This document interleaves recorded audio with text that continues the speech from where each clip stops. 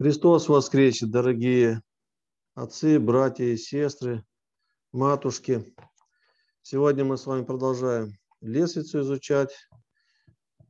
Самая обширная степень, четвертая, о блаженном и преснопамятном послушании. Вот мы с вами закончили на 36 пункте. Зачитаем. Он очень обширный, но с некоторыми пояснениями зачитаем. Некто из преснопамятных онных мужей, имея великую ко мне любовь по Богу и дерзновение, сказал мне однажды с искренним расположением. Тут идет ряд э, таких поучений, ряд наставлений. Э, конечно, они встречаются и в других аскетических книгах. Ну, давайте зачитаем. Если ты мудрый чувстве души, имеешь силу того, который сказал, вся могу о укрепляющем меня Христе, если Дух Святой росой чистоты нашел на тебя, как на святую деву, если сила Вышнего, сила терпения осенила тебя, то припаяшь, как муж, чресла твоя лентием послушания. И восстав с вечери безмолвия, умывай ноги братьев, в сокрушенном духе, или лучше сказать, поверни себя под ноги братства мыслями самоуничижения. Э, иногда спрашивают, где же брать силы для того, чтобы смиряться перед братьями. Будем вспоминать, как здесь вот говорится, тайную вечерю, когда Христос снял верхнюю одежду, припоясался лентием, полотенцем и умывал ноги своим ученикам. И он сказал, что я ваш Господь и Учитель умывал ноги, и вы должны умывать ноги друг другу. В дверях сердца твоего поставь стражей строгих и неусыпных. Держи неудержимый ум в теле, находящемся в молве. При действии движения членов телесных обучайся умному безмолвию, что всего достославнее.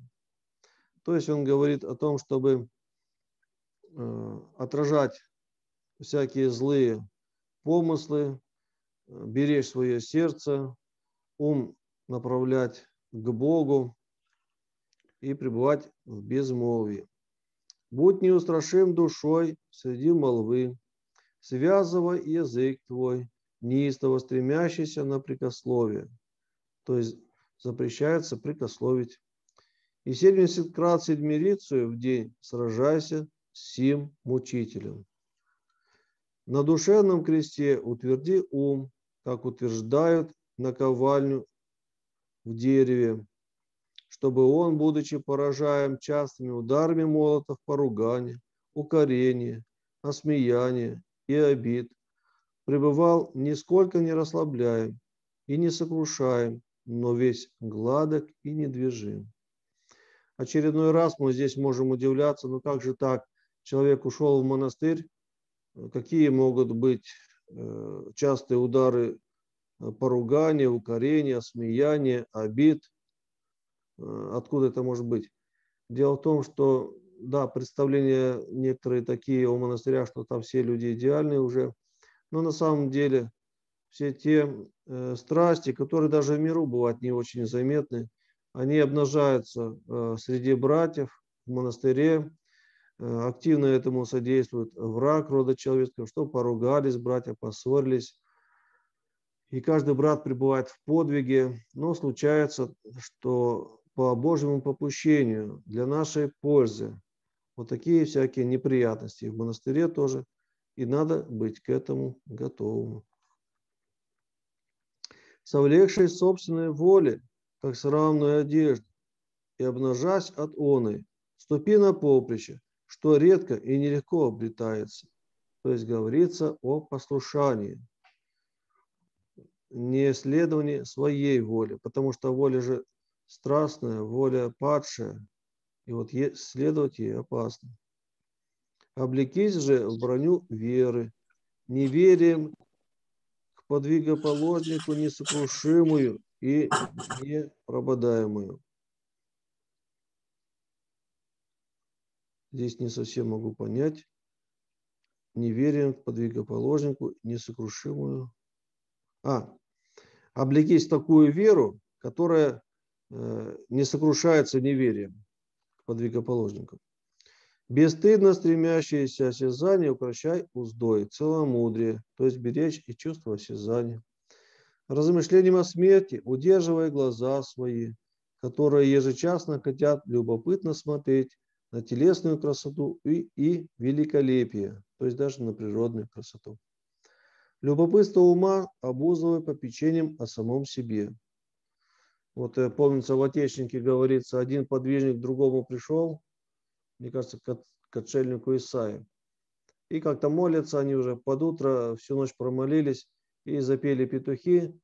И этот гость говорит, Ава, а что здесь петухи есть?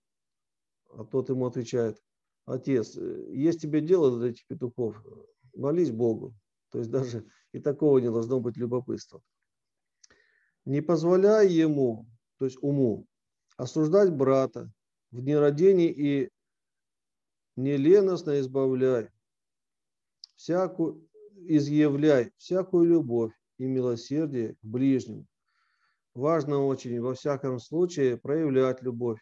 Даже это и в быту, вот допустим, садимся мы кушать за стол, надо постараться другим угодить, э, что-то подать, что-то стул поставить э, правильно, в чем-то помочь. И так везде. Мы идем вместе, дверь открыть, человеку, и чтобы это вошло в нашу привычку.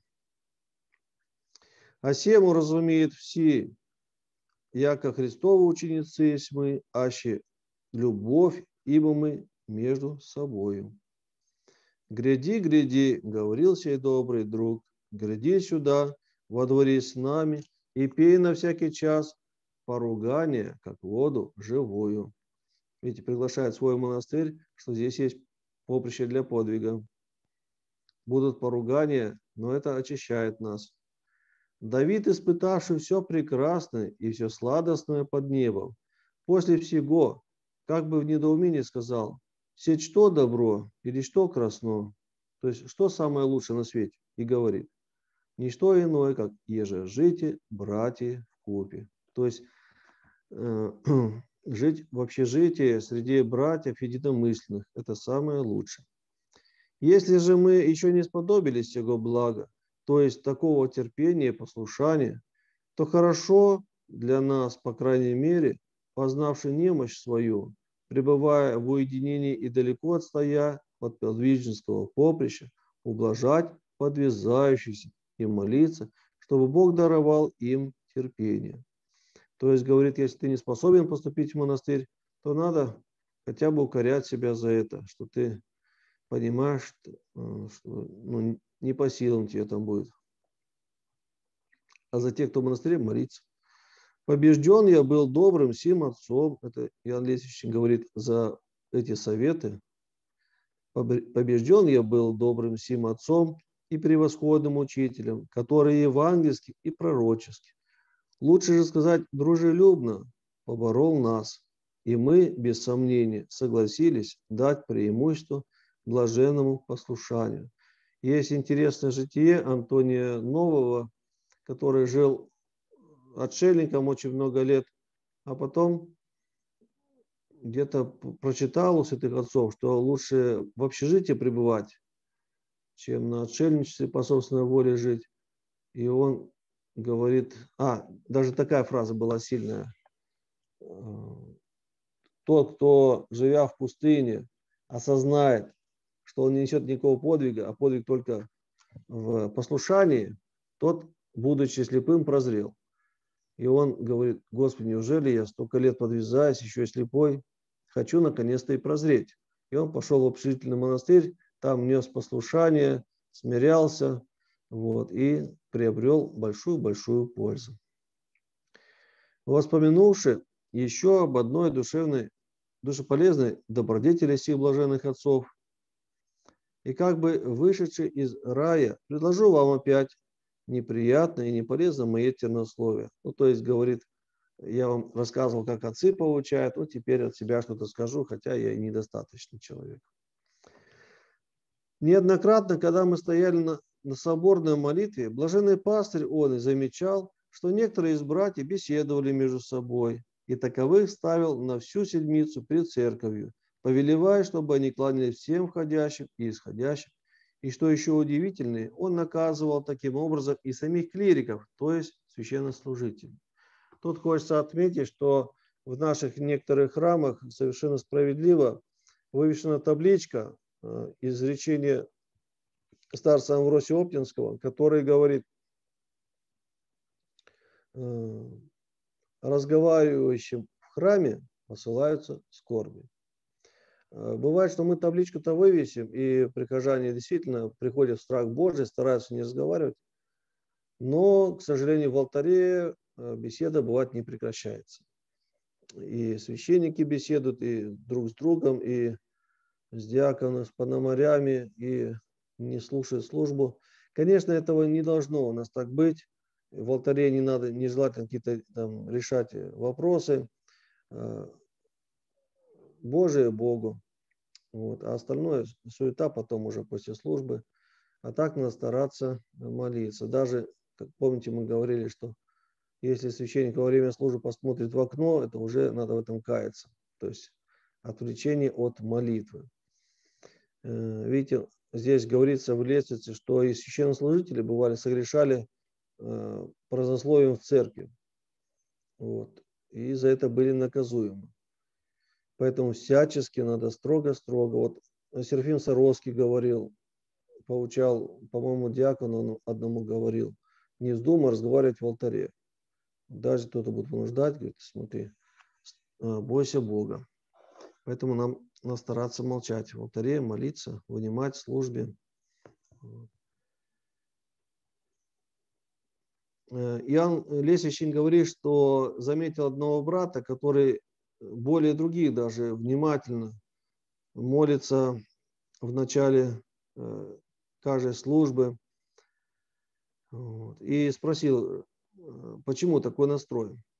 Он же, привыкший не утаивать того, что может быть полезно ближнему, отвечал, я привык, отче Иване, в начале, кажд... в начале песни собирать помыслы и ум с душою, созывая их, взывать к ним.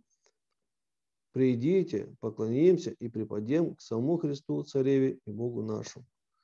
Ну, где-то я читал тоже, что вот эта фраза, когда мы поем перед всеночным днем и перед э, другими э, нашими последованиями богослужебными, придите, поклонимся цареве нашему Богу, что с одной стороны это относится и призыв к людям, чтобы прийти поклониться, с другой стороны это созывается ум, душа, тело, то есть дух, душа, тело, все вместе собраться и помолиться внимательно Богу.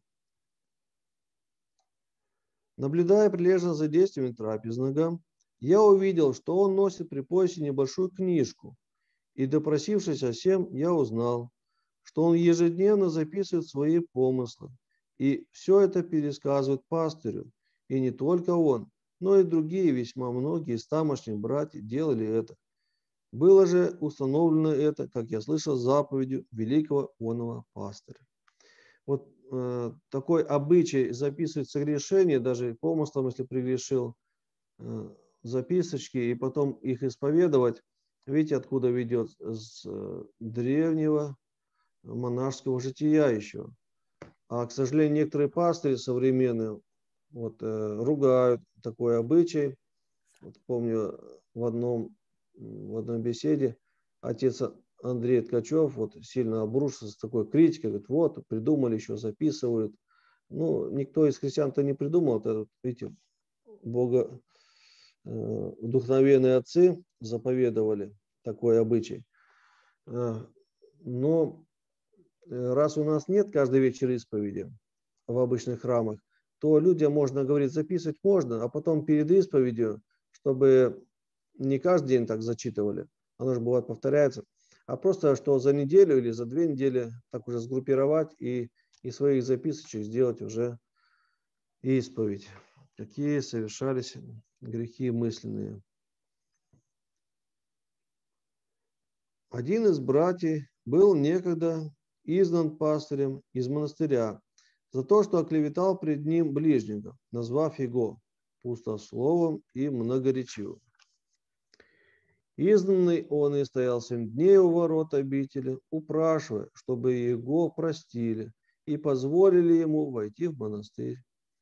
Когда душелюбивый отец услышал об этом и прилежно разведав, узнал, что изгнанный в продолжении шести дней ничего не ел, то объявил ему, если ты непременно хочешь жить в всей обители, то я помещу тебя в число кающихся.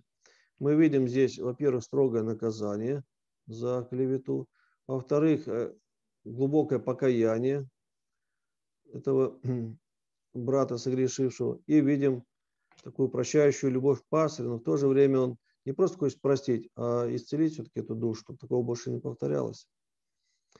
И как кающийся принял сие с радостью, то пастырь повелел его отвести в особенную обитель оплакивающих свои грехопадения.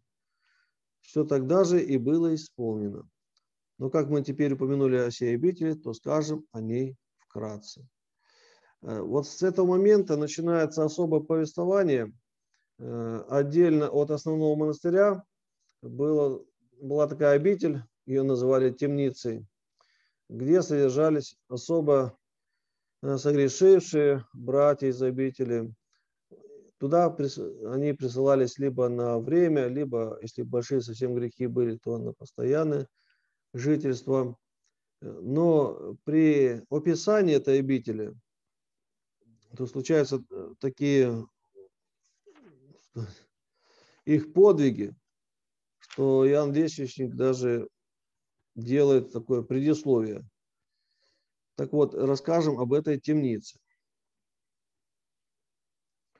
В расстоянии одного поприща от Великой обители было место, называющееся темницей, лишенное всякого утешения. Там никогда нельзя было видеть ни дыма, ни вина, ни илея, никакой другой пищи, кроме хлеба и небольшого количества огородных растений. То есть видим, что особый пост там все время соблюдался, не ели вареной пищи даже.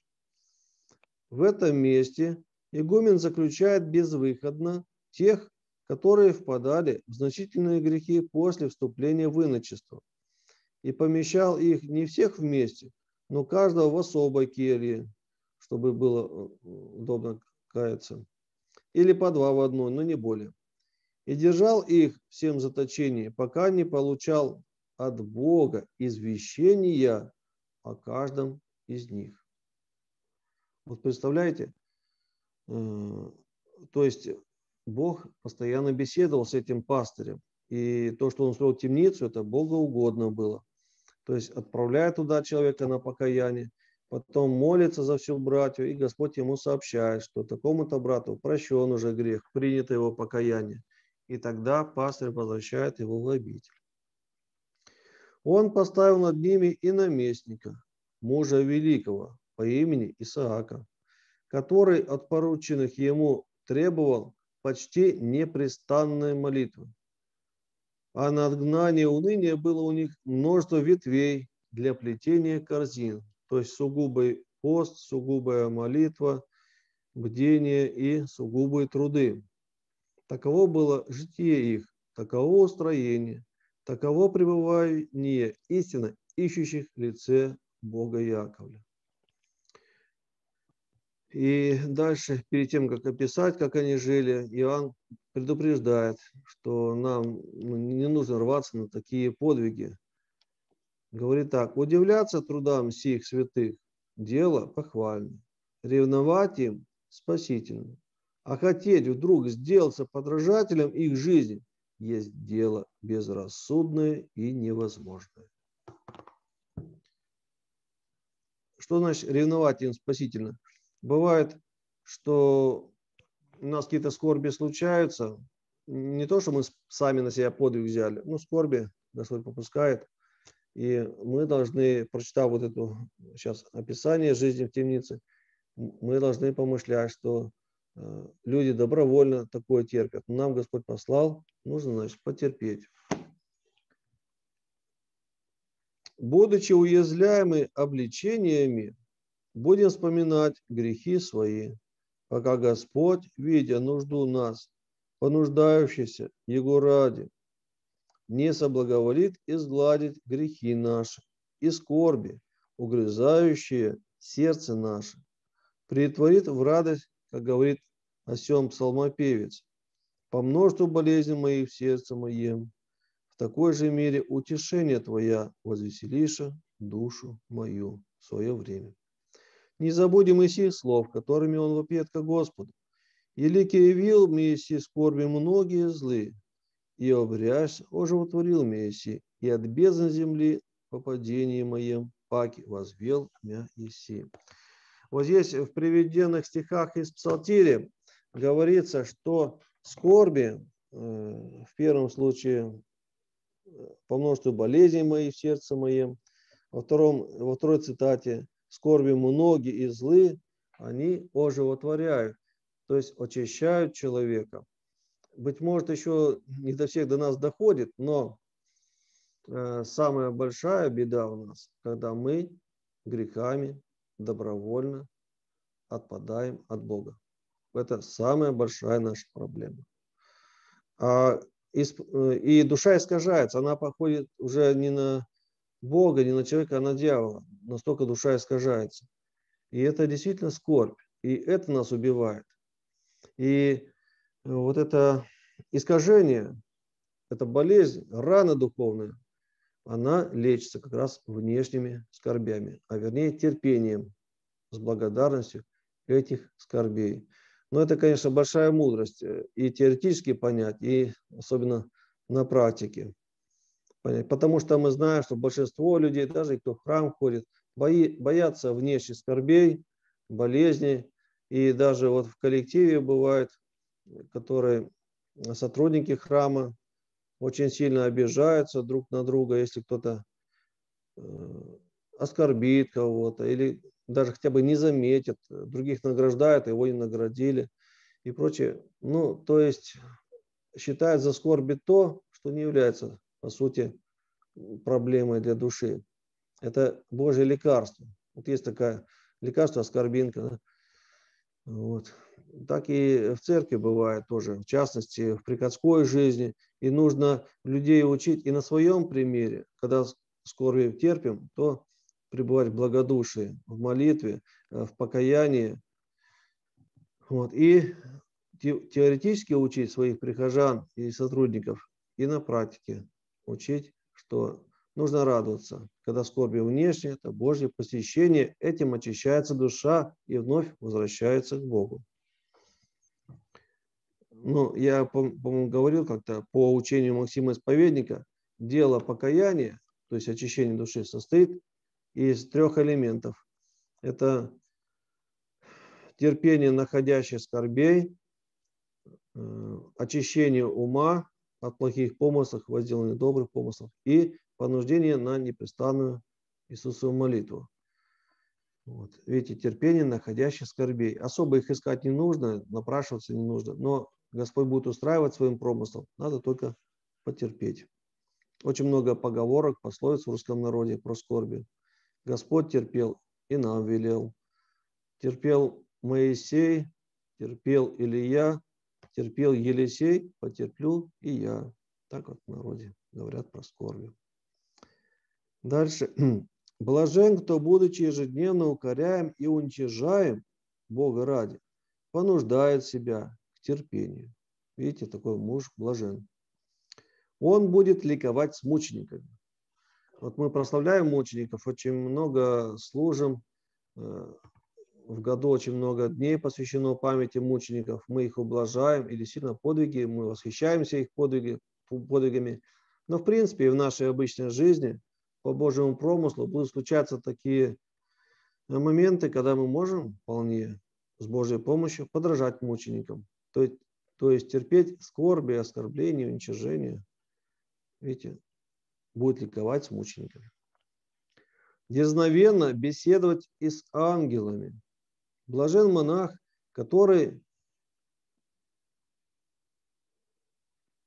Блажен монах, который каждочасно почитает себя достойным всякого бесчестия и уничижения. Вот очень важно, кстати, видите, блажен, ну, монах или человек, который постоянно считает себя достойным э, всякого уничижения и бесчестия. Это, в принципе, наше должно быть постоянное состояние, что мы не должны себя считать достойными не только внимания и почести, а даже покоя. А мы должны себя считать достойными всякого уничижения. И поэтому, когда случается уничижение, скорби какие-то, то мы принимаем это как должное, как э, Божью заботу о нашей душе, чтобы душа наша уподобилась мученикам, была очищена и освящена. Блажен, кто волю свою умертвил совершенно и все попечение о себе передал своему учителю о Господе.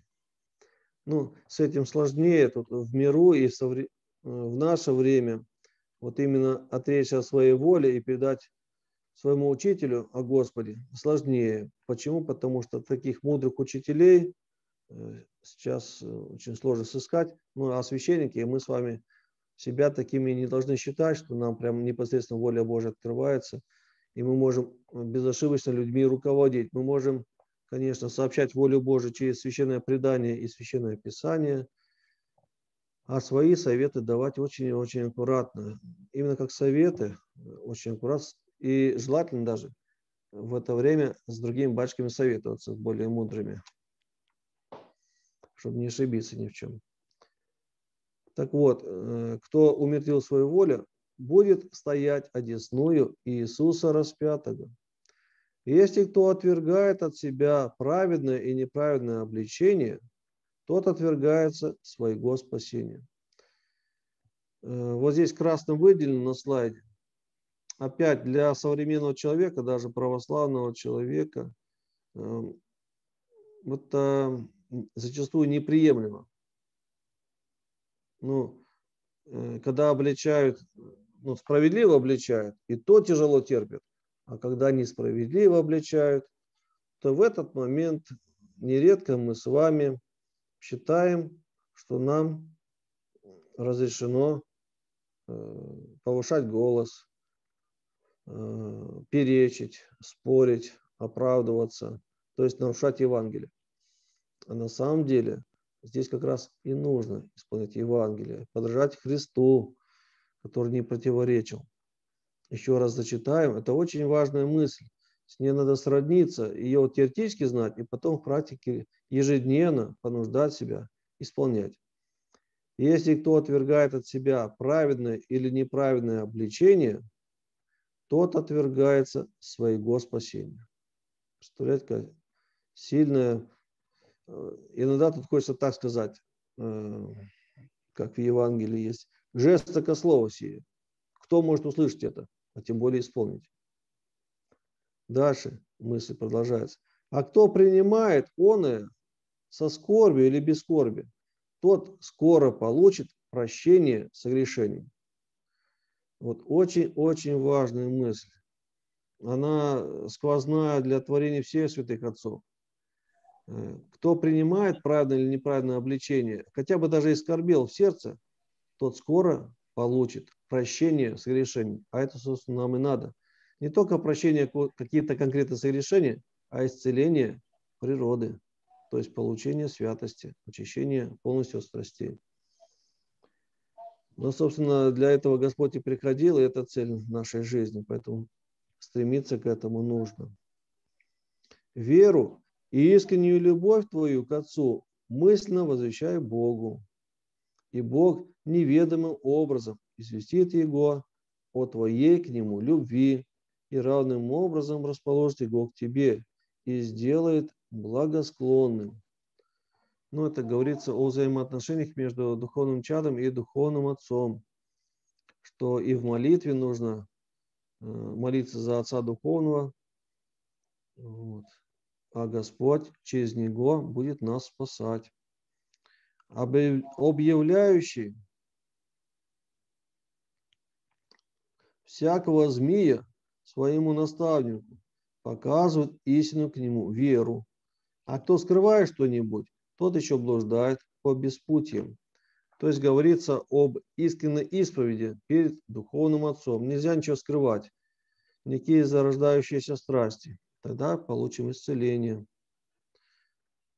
Тогда всякий из нас познает, что в нем есть братолюбие, истинная любовь к ближнему, когда увидит, что плачет о согрешениях брата и радуется о его преуспеянии и дарованиях.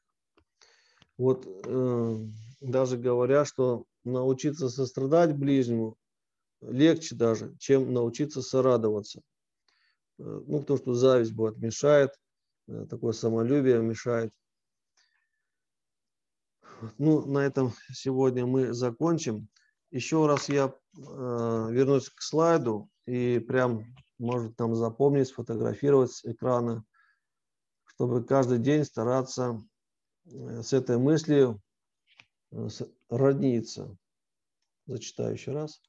Если кто отвергает от себя правильное или неправильное обличение – тот отвергается своего спасения. Страшные слова. А кто принимает он со скорби или без скорби, тот скоро получит прощение согрешения. Вот это должно быть лейтмотивом нашей жизни.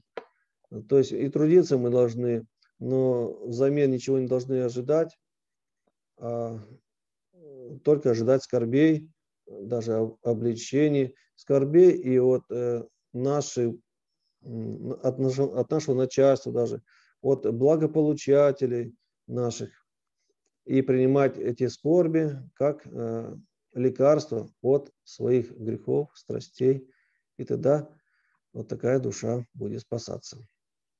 Ну, слова, конечно, жестокие, казалось бы, для нас, но надо их исполнять. Это и есть Евангелие в жизни. Именно так люди становились святыми людьми.